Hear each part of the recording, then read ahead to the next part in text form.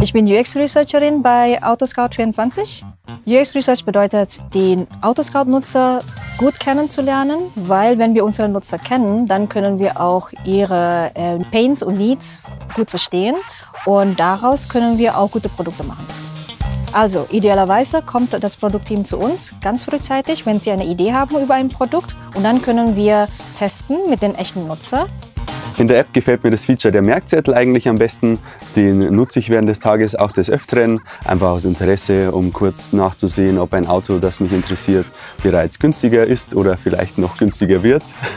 Und auf der anderen Seite würde ich auf der Suche noch sehr gerne das Kriterium Hubraum auswählen können, damit ich eben meine Suche noch genauer eingrenzen kann. Du bist aber auch echt nicht der Einzige, weil dieser äh, Feature-Wunsch haben wir auch von anderen Nutzern und deswegen steht das auch in unserem Backlog und hoffentlich wird es dann halt angefasst. Ich freue mich schon drauf.